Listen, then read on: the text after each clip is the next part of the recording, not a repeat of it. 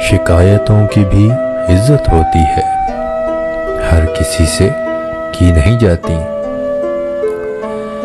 इंसान खाक से बना एक पुतला है, पर अपने अल्फाज में आग लिए फिरता है।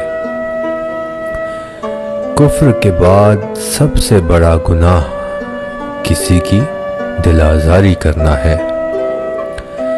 इंसान के किरदार की दो ही मंजिलें हैं। या दिल में उतर जाना, या दिल से उतर जाना। मैं सब जानता हूँ, बस यही सोच इंसान को कुएँ का मेंढक बना देती है।